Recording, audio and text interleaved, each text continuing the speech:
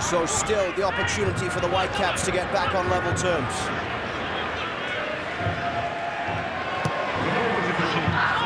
Lofted high towards Mattocks. Darren Mattocks.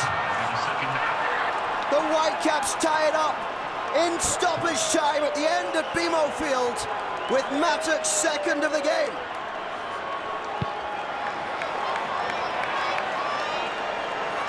What a leap by Darren Mattocks. He gets up so high here. It's just a hopeful lofted cross into the box.